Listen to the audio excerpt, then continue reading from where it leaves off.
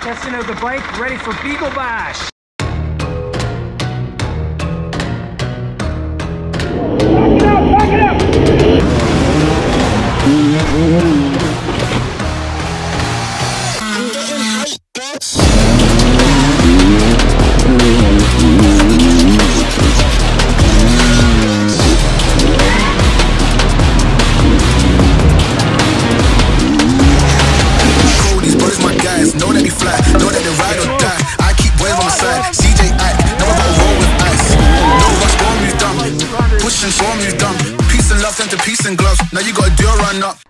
Okay, getting loaded up for the 40th annual Beagle Bash.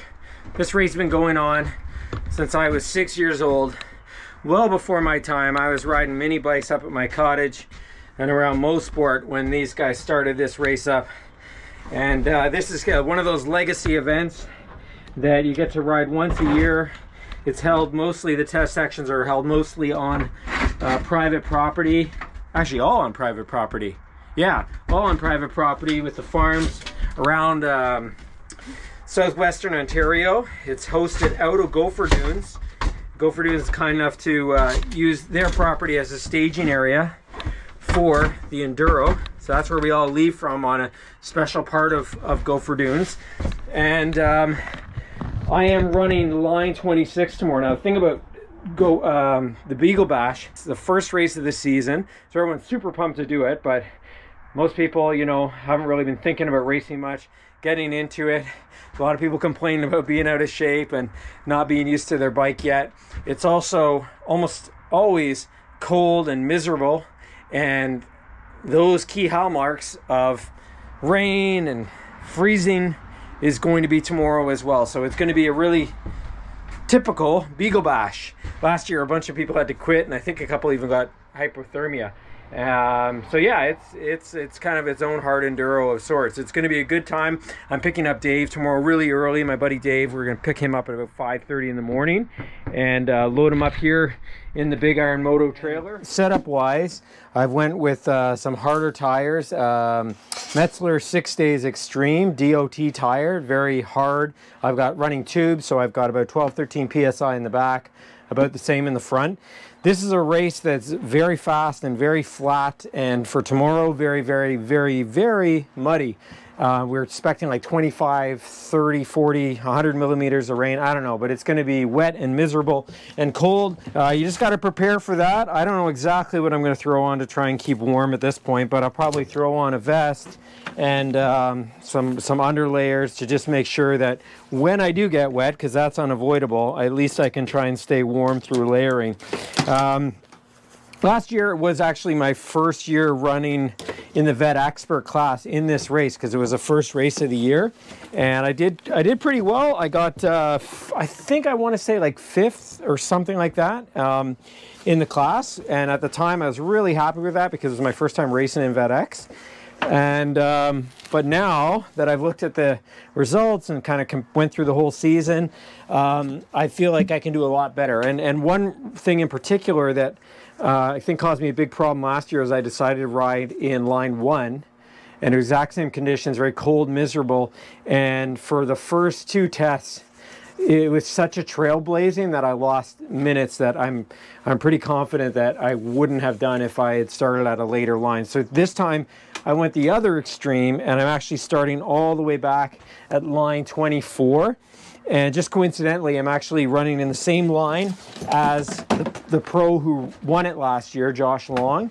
And if I can just pace him for as long as I can, I think that'll be a good way to figure out where I sit and um, the paces I can try and maintain. Because if I'm keeping up with that guy, then I'm going to be doing very well in my class because he won overall last year. Um, as far as what I'm going to wear for um, equipment, um, just my armor, everything like that. And I'm going to bring this waist pack and I'm going to bring this three liter USWE pack and ride with those. So some water in here and lots of gloves in here. And I'm probably going to bring like three or four pair, almost a, a fresh pair for every test section. They're light, easy to throw on. Nothing feels better than putting on some dry gloves. And um, Beyond that, I mean, maybe maybe a fresh pair of goggles, but I'll probably leave that at the gas stop. There's two gas stops. Five o'clock in the morning. Why do we do this? A podcast. This one here, uh, Gypsy Tales with Skyler Howes, and uh, I really like like these podcasts, uh, the Gypsy Tale ones.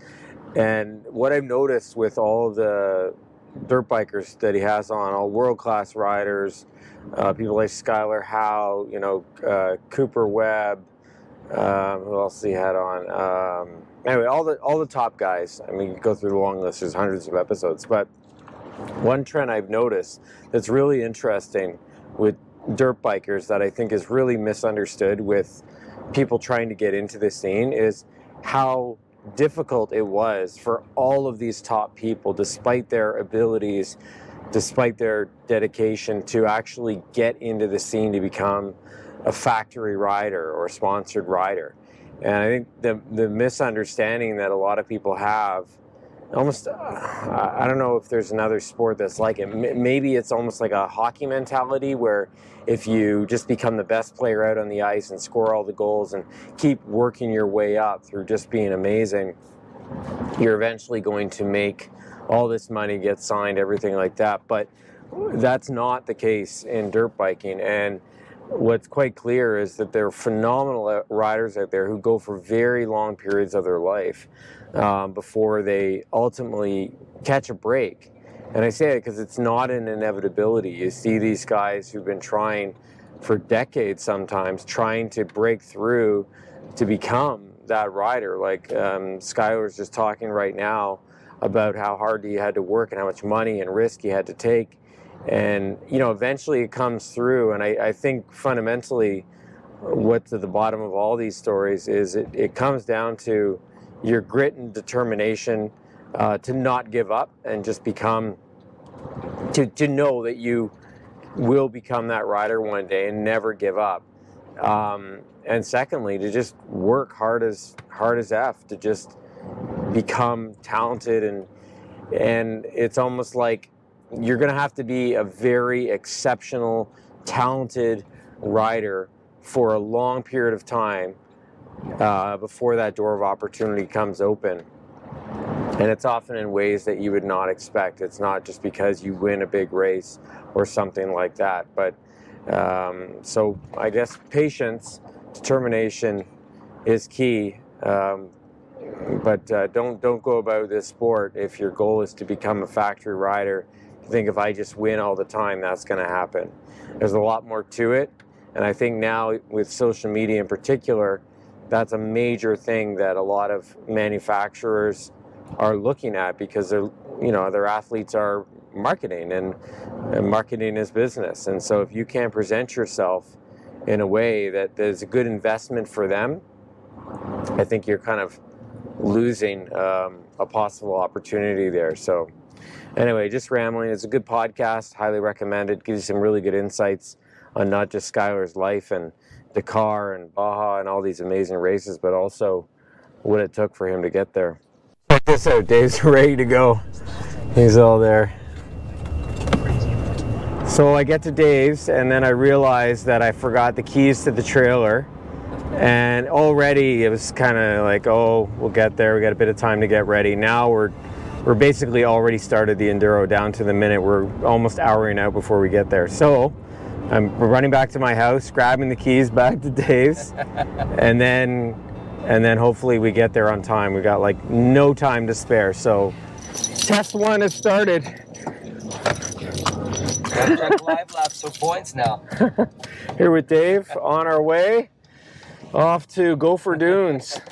Let's do this. It's a, an hour and 40 minutes right now on 407. So we're doing a hard enduro Uber X all the way to Beagle Bash.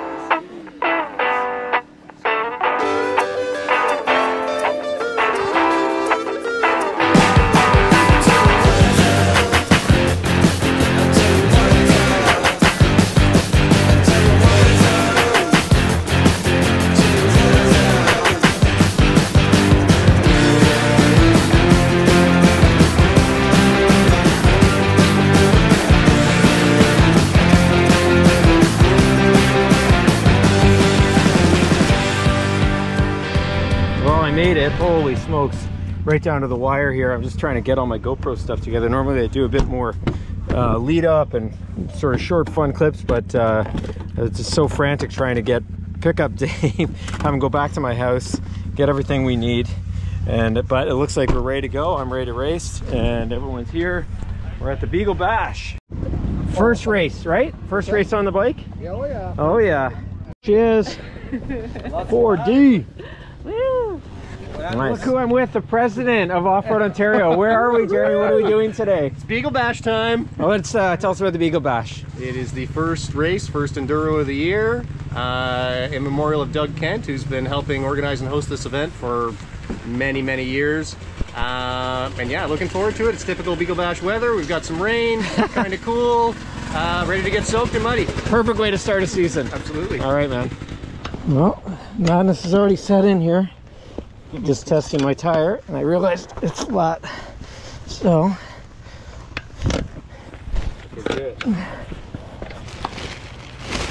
this is a stock tube. It's not great. Stock. Can you grab me my compressor? Yeah. Yeah, that's okay. This is a good one.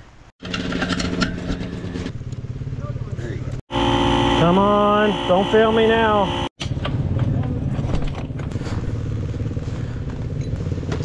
Well, I'm filthy and basically feel like I've already done two tests at the Beagle Bash, so I guess I'm warmed up. Finally ready to go. No keys, no flat tire. Holy Just smokes. Podium only. I think uh, the Enduro gods are sending me a message like, sit this one out, Roboshow. Take a hint, buddy. There he is, KTM brother now. Yeah, man. All right, let's I do even this. got on the wrong bike before. Yeah, buddy. Here he is, Jamie, debuting in the vet expert category. You got bumped. you got bumped. You're too fast. Good luck. How you doing? Good. How's it going? Good luck. Yeah. Yeah. All set? Beautiful day. Yeah. Hey Matt, how's it going? Good. Good luck, man. Woo. Good luck, Brian. Yeah. My first enduro. This is it. This is the KTM. Go. This is the winning bike. I'm telling you, man. Well, usually they, because some of them are ex-pro and then expert, and they they're 50 bucks. A little different than North Carolina, isn't it? A little bit North Carolina, a little bit wet. It's got the same rain. It's probably just as wet. Yeah. But I'm here this time.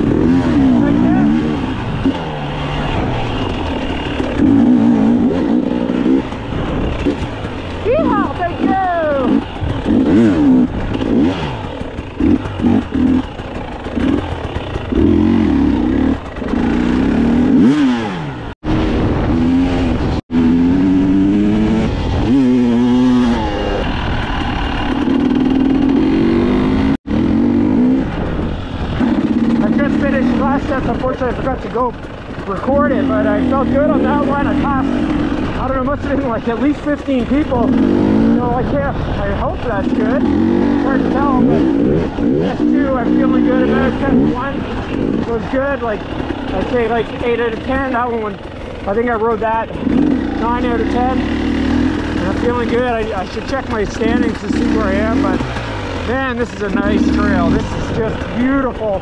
A little bit slippery, but way different than last year. Much, much nicer. Really well cut. Really enjoying this one. Had a, had a different impression coming in here today.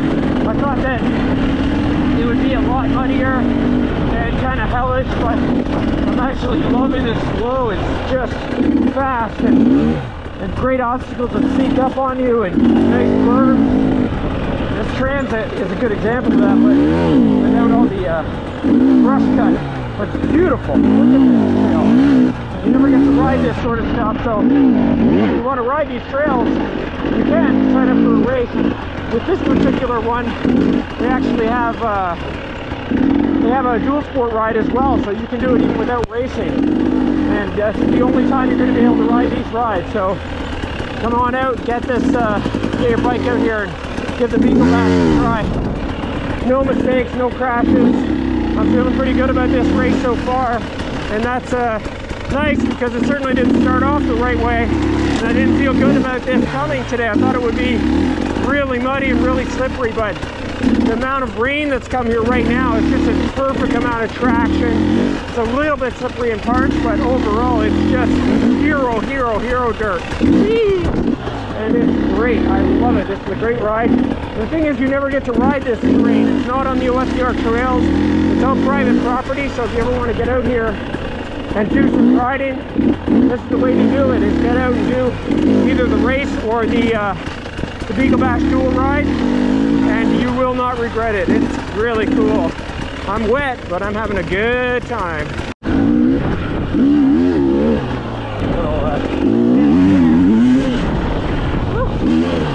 It's awesome. It's springtime in Ontario, and it feels great to be back on the bike. Wow.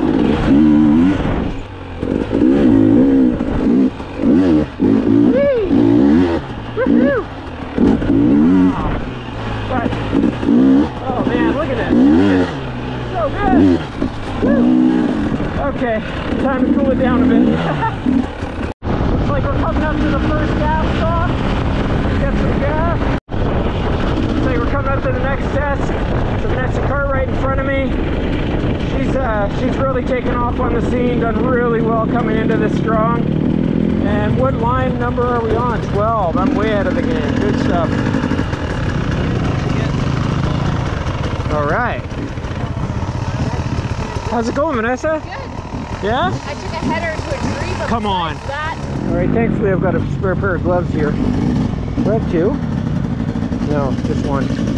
So, switch these up. We're minute 12, I'm 24. So I'm sitting pretty good right now. Oh, fresh gloves, the small things in life, eh?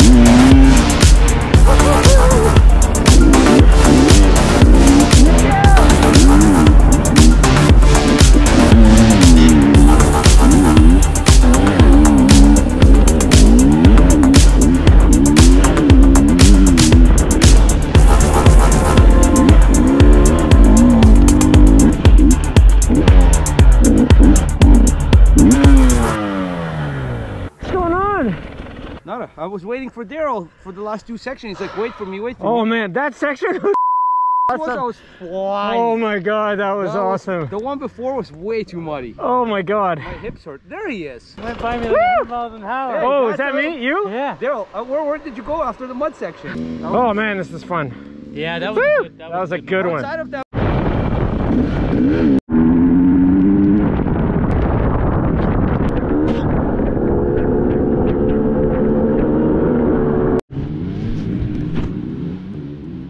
Great. Man, the things, I couldn't believe my day today. Forgot my keys to my trailer. and I get here and the tire's blown. Oh shit. Just like comedy bears. Okay, all right. Exactly.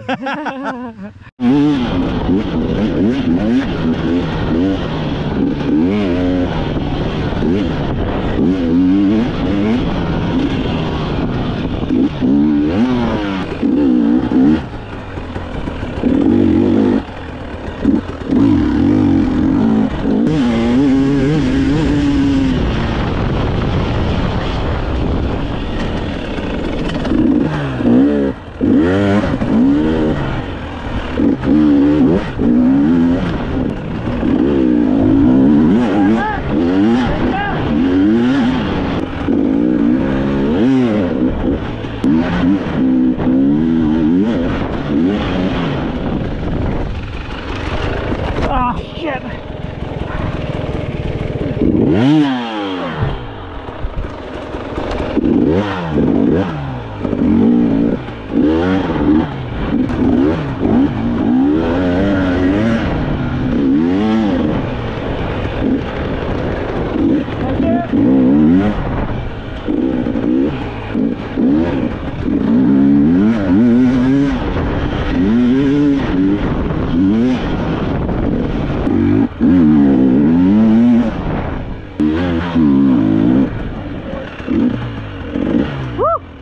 Awesome. That's a wrap of the Beagle Bash. Woo! Yeah, baby. Woo! Whoa. Hope you got that on GoPro. That went in my, my head a lot differently. was in first usually. At the beginning there, because the OTP showed up with second gas. No, did they? Jonathan Manella.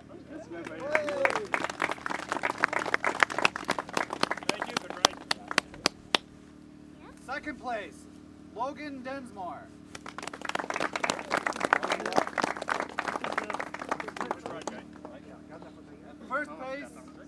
Jake Michaud. Is he on the counter?